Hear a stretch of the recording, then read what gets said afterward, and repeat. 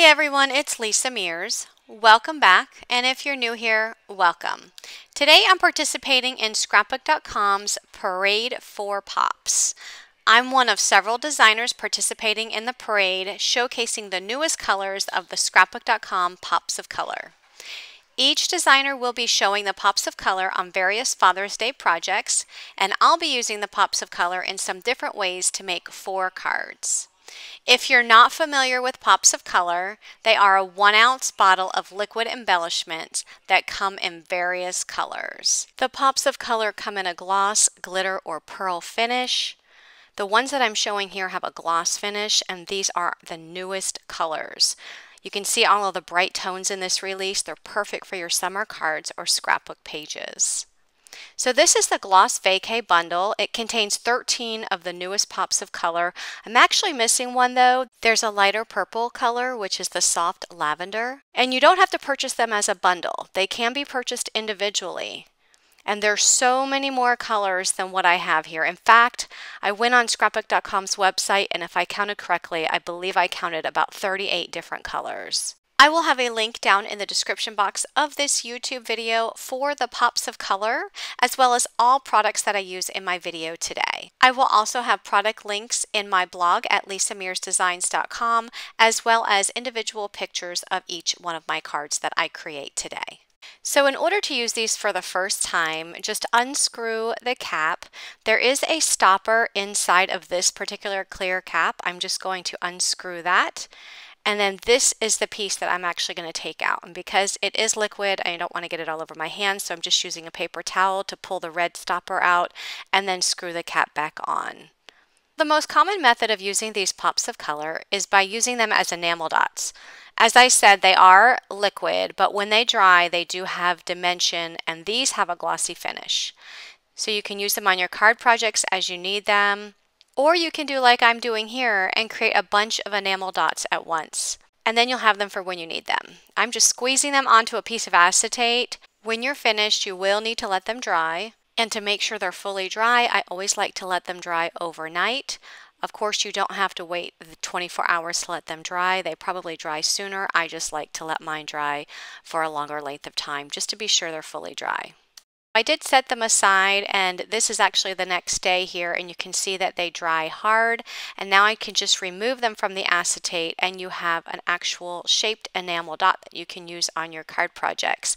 You would have to put glue on the back of this because now they're not sticky so you just have to adhere them to your project with glue. Another way to use these is just to squeeze the amount you need on your card or scrapbooking page and let that dry directly on the project. So for my first card, I'm using the scrapbook.com Stars stencil. I'm taking a piece of smooth white cardstock and I'm adhering it to the back of the stencil with some scrapbook.com mint tape. And then I'm going to use three blue colors. So I have the royal blue, that's my darkest. I put that at the top. And then in the middle, I put down the turquoise waters. And then finally, the sky blue. I want to create an ombre look going from dark to light. And I love how these colors in this bundle have the colors that you can do that with. So I'm using my scrapbook.com scraper and I just start at the top and move that down to the bottom. And when I remove the stencil, look how beautiful all those stars are with those pops of color. You can see the glossy finish. It is so pretty. So you can use the leftover pops of color that are on the scraper and you can just create another background just by taking another piece of cardstock and then just adding it to the cardstock. So just scraping it off. And I'm just going up and down and all around this cardstock just to create a background. And this background I'll actually just save in my stash for another card project in the future. And look how pretty all of that gloss on that cardstock is. You can see all the shine from my light hitting it. It's so pretty. So I am working on my scrapbook.com silicone mat and notice that everything just comes right up off of the surface. I'm just using a wipe here to clean this off and I'm just cleaning up all of the mess and you can see how easily it just comes right off with a wipe, just wiping it off the scraper here. And as for the stencil, I did clean it with some hot soapy water. So I let my panel dry overnight and I'm ready to go ahead and make a card. I will be using the Downtown Alphabet dies. They do come in letters and numbers.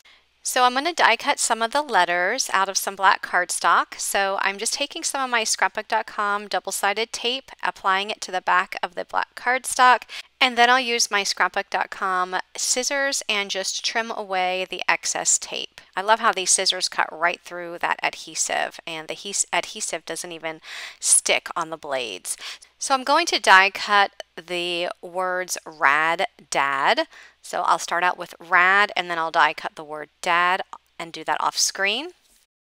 So I love these alphabet dies because you can actually use them in a couple of different ways. So when it, these die cut, it actually die cuts a very thin piece of cardstock on the inside of the letters. And you can use those extra letters, I see, you see the A there on the table off to the right, on a separate card.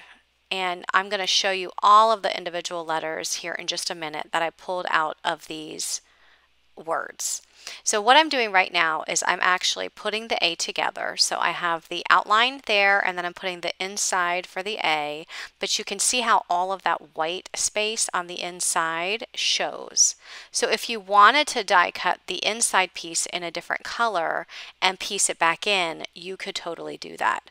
So you can have it with the card background showing from behind. You can have it pieced in with a different color, or you can use these individual inside pieces by themselves. So I've worked with these alphabet dies before and I do have some cards. I just want to show you some examples. I'm going to pop here up on the screen.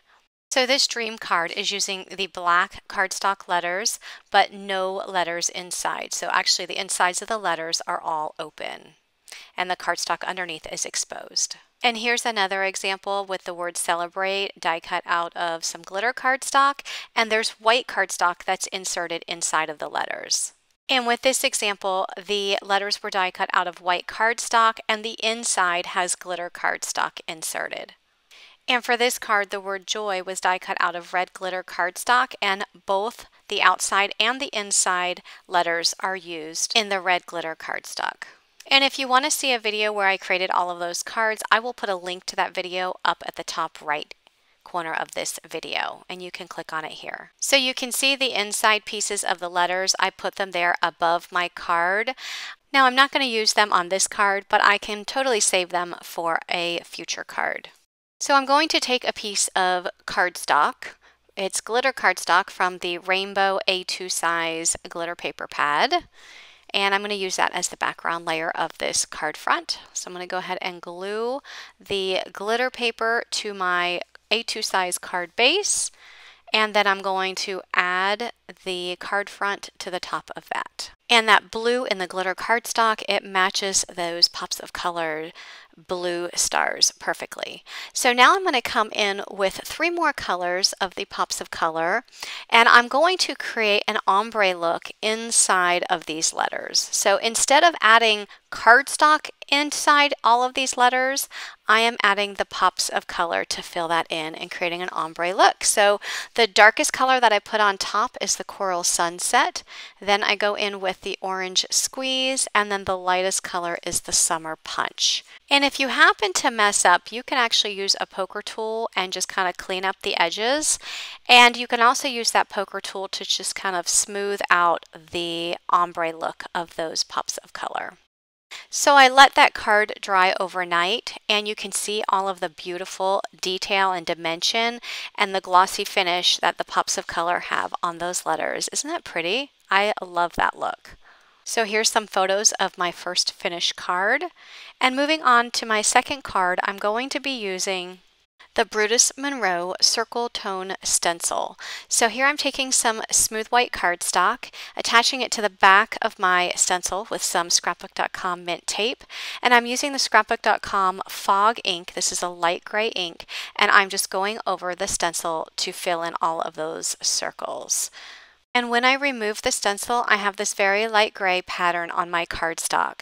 So now I can come in with all of my pops of color and I can just squeeze them out on all of these dots to create a fun circular look with all of these pops of color. So if I didn't have that stenciled background, I never would have been able to get all of these dots in a perfectly aligned circular pattern. So by using this stencil and applying it with a light gray ink, it allows me to get the perfect circular pattern. And you can't even see that light gray ink underneath those enamel dots when they are dry.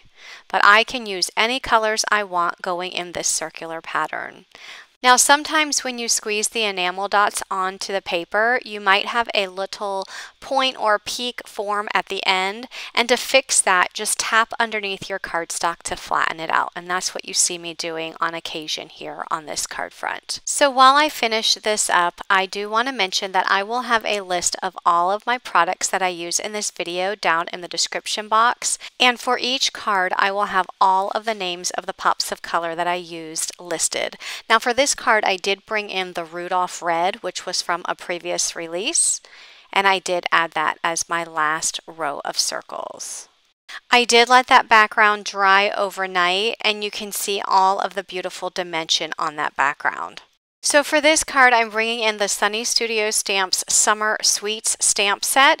It has all of these summer sweets. There's a Coke bottle, there's an iced coffee, popsicle, ice cream, milkshake, and I could totally see the pops of color being used in the hot fudge sundae for the topping as well as that popsicle topping, but I'm going to be using the Coke bottles in this set. So I stamped out two of the Coke bottles. I'm just going to color this up really quick with my Copic markers using E49 on the outside edges, and that is just the darkest brown that I have there, and then I'm coming in with E47 over top of the E49 and extending more towards the center, and then filling that white space in with the E44.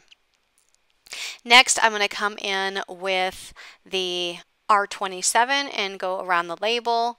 That's my darkest red. I'm coming in with the R24 and then the R22 in the middle. I'm going to add a little bit more of the R27 to the edges there and also to the cap. And then I'm going to come in with my B0000 and fill in the glass part at the top of the bottle. I did color in the second one exactly the same and then stamped out the word soda inside of the label. So here I'm taking a piece of red cardstock from the Christmas A2 paper pad. I'm going to attach this panel onto the red cardstock. I will be using the scrapbook.com Bold Basics alphabet dies. They come in a pack that has both the capital letters and the lowercase letters. I'm going to be using the capital letters only and I die cut the word pop out of some black cardstock.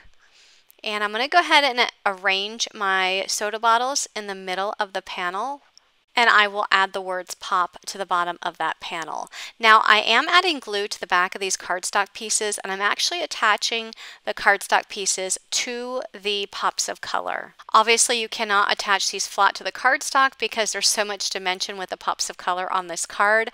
I actually did not have any problem with the cardstock adhering to the pops of color on my card front. So it did stick and it's not coming off. I did add that panel to an A2 size card base and now I'm just pulling off the sentiment um, from the stamp set, putting it on an acrylic block, and I'm going to stamp out You're the Coolest on the inside of my card. So I have You're the in black and then Coolest in the Cardinal Red Scrapbook.com ink. So here's the sentiment on the inside. And that completes my card. So you can see all of that beautiful, colorful dimension with these pops of color on this card. So moving on, I'm going to show you how to use the pops of color with an embossing folder. I'm going to show you how you can get a really beautiful design with your pops of color and your embossing folders. So the embossing folder that I'm using is the Catch a Wave embossing folder by Pink and Main. I'm putting a piece of watercolor cardstock inside of my embossing folder. And I'm going to use the royal blue. This is the royal blue, the darkest blue that I have. And I'm just outlining some of the lines on this embossing folder. Now you don't have to outline these lines. I just wanted to have some of these lines defined on my cardstock when I um, complete this look. So that's why I'm outlining them. If you wanted just to squeeze your pops of color all over the inside, you can do that too. So here I'm just using some of the darkest just to create some of the lines. And next I'm going to come in with my mid-tone. This is the turquoise waters and just fill in some more of those lines. Then I'm going to come in with my lightest color. This is the sky blue and just fill it all in. So you don't have to go over the lines. Again, you can just, you know, put the pops of color on there. Here, I'm just spreading it out with a paintbrush and then just adding some more color where I see fit. Notice that I did not put the pops of color all over the entire embossing folder because the piece of cardstock that I'm using is just A2 in size. So I don't need to put it all over the embossing folder. And when you press the embossing folder together onto the cardstock it's going to move. So you can see how the pops of color it actually will move closer to the edges of the cardstock. Now you can always come back in with some more pops of color and add to some of the white areas if you wanted to add some more and I'm just spreading it here with a paintbrush. And when I'm finished, I will clean this with hot soapy water, which I've already done. And I'm also want to just show you here that I just had a few particles left of the pops of color, and I'm just using one of my green scrub sponges, and it just comes off super easily. So I did let that panel dry overnight and now I'm just coming in with some of the ball ground blue ink. Just going over some of the edges to get rid of some of the white area around the edges. And just to note, you can only apply the ink to the exposed cardstock. If there's pops of color over the cardstock, you really can't apply the ink over top of the pops of color because it has that glossy enamel finish. But if there's any white exposed cardstock on this layer, you can totally add ink to it. And I did did come in with a little bit of a darker ink. This is the surfboard ink from scrapbook.com. So there is my panel using the embossing folder. Now we're going to turn this into a card. So I'm using the um, Sunny Studio Stamps Fintastic Friends stamp set. And I did stamp out a lot of the images for the set, but I'm only going to be using the shark. So I'm just going to be coloring up the shark here.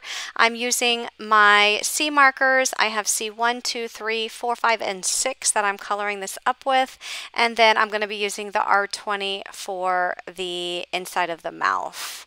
So just applying a little bit of shading with some Copic markers, and then I will cut this out and use this on my card. I am going to be bringing in the scrapbook.com bold basic alphabet dies and I'm also going to be bringing in some of the scrapbook.com cheerful sentiments. I love these sentiments because you can use them for any time of year. You have some New Year's, congratulations, anniversary, Thanksgiving, Christmas, Halloween, Mother's Day, Father's Day, Easter, birthday. So you can actually put these together to say Happy Father's Day or Happy Birthday. There's also some smaller fonts down below. So I'm going to actually be using the Happy Father's Day in the smaller fonts for my card today. So this is the cheerful sentiments, but I also want to show you that there is a, another set with some different fonts, and these are the sentiments for every occasion. So you can see there's there's a lot of script fonts on this one, but it does the same thing. You have the Christmas, the birthday, the anniversary, the Thanksgiving, the Father's Day, the Mother's Day. So you can use these any time of year to put these sentiments together to form whatever type of sentiment you need for the holiday or occasion that you're giving a card for. So I went ahead and stamped out the Happy Father's Day on some white cardstock and I'm adding it there to the bottom left hand corner and then I die cut the Bold Basics dies I die cut the word dad. I use the uppercase and the two lowercase letters, and that's out of the black cardstock. And then the shark I'm actually going to have popping out of the D in dad. I'm adding that to a A2 size card base. A2 size is four and a quarter by five and a half, and that will complete my card. I love the look of the pops of color using the embossing folder. Okay, so moving on, I'm going to show you how we can stamp using the pops of color. So I'm going to be using this stamp set from Pink and Main. This is called Toucan Do It. I'll be using the leaves in the stamp set to make a background and then I'm going to use the frog image for the center of the card. So I'm starting out by taking, I believe this is the Kelly Green Pops of Color. I'm putting some here on my silicone mat. And then I'm going to take a brayer and I'm going to smooth out this pops of color. Next, I'm going to take one of my leaf stamps from the stamp set and I just ink it up with some of the pops of color and stamp it down onto my cardstock. And then I can just add more of the pops of color and smooth it out with the brayer as I need to, and then continue in that process to create a background on this cardstock. So I'm just doing some background stamping here, just creating my own pattern. I like to think of it as creating my own pattern paper. I like to do this often. And now I'm taking the key lime color and I'm doing the same thing. So I just put it on my silicone mat and I use my brayer to smooth it out. And then I'm using the other leaf stamp in this set and stamping it down on the card front. I did clean my brayer going from one color to the next and I just used a wipe to clean that off.